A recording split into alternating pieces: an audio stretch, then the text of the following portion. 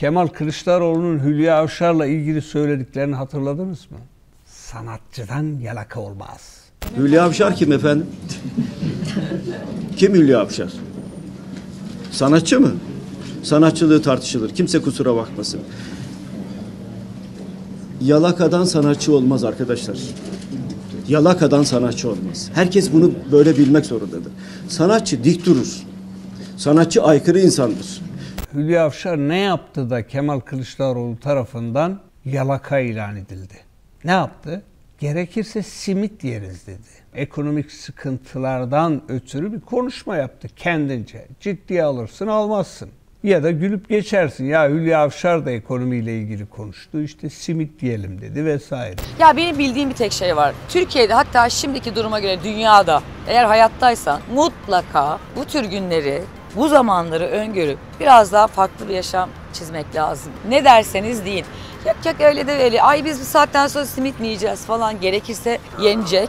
Bu açıklamayı kimi güldü, kimi eğlendi, kimi haklı dedi. Ama Kemal Kılıçdaroğlu doğrudan hedef aldı. Hülya Avşar kim efendim? Kim o? Her zamanki konuşması. Kim o? Hülya Avşar kim efendim? Kim Hülya Avşar? Sanatçı mı? Sanatçılığı tartışılır. Kimse kusura bakmasın. Şimdi tabii millet boş durmuyor. Millet bunları hafızasına yazıyor. Bu İstanbul'u kar teslim alınca Ekrem İmamoğlu'na yalakalık yapan sanatçılar sıraya girdiler. Hemen peş peşe tweetler atmaya başladılar. İşte o balıkçı e, hikayesinden ötürü. Athena Gökhan tabii aa, geri kalır mı? Hemen devreye girdi.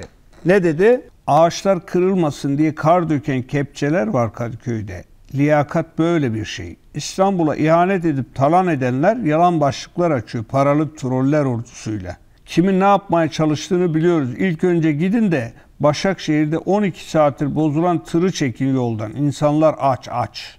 İnsanlar aç aç. Tam da Gökhan'ın dediği gibi. Ya bir de keşke Türkçeyi de iyi kullansa. Başak şehir ayrı ayrı yazmış.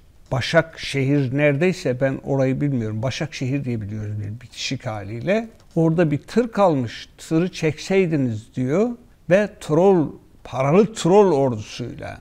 Valla o gece baya bir troll ordusu vardı. Yani Murat Ongun'u tweet'e attığında siz sıcacık evlerinizde falan diye o mesajı attığında insanlar sokakta o kar görüntüleri, o yolda mahsur kalan insanlar Gökhan'ın da Murat'ın da troll diye adlandırdığı o insanlar görüntülerle bu yalakalığa mı desem acaba cevap veriyordu. Hani sanatçı ya sanatla ilgili bir şey söyleyeceksen söyle.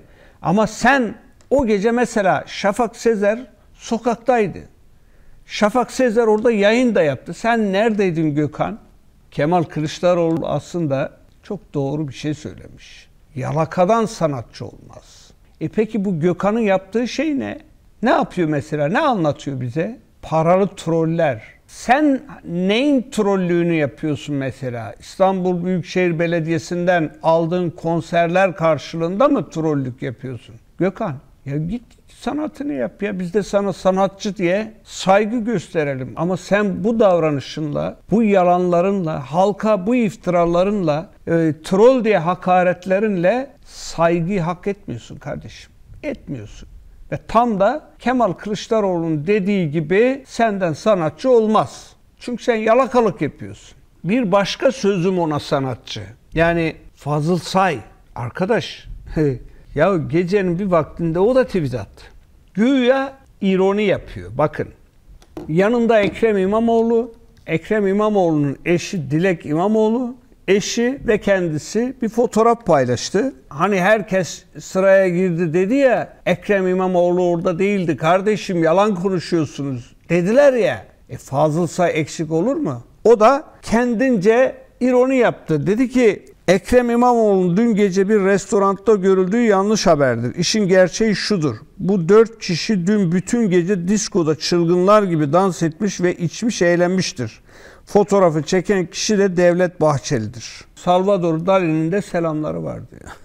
Sanatçı işte sanatını icra ediyor. Var olan bir gerçeği abuk subuk bir tweet mesajıyla yalanlamaya çalışıyor. Yani Mehmet Bekaroğlu gibi ulan utanın utanın siz nasıl böyle yalanlar konuşursunuz ya da Barış arkadaş gibi hemen atlayıp ya utanma da kalmadı sizde troller demek yerine o da bu fotoğrafı paylaşıyor. Sonra ince mesajla Devlet Bahçeli'ye getiriyor sözü. Fotoğrafı da o çekti diyor. Şimdi gelin de buna sanatçı deyin.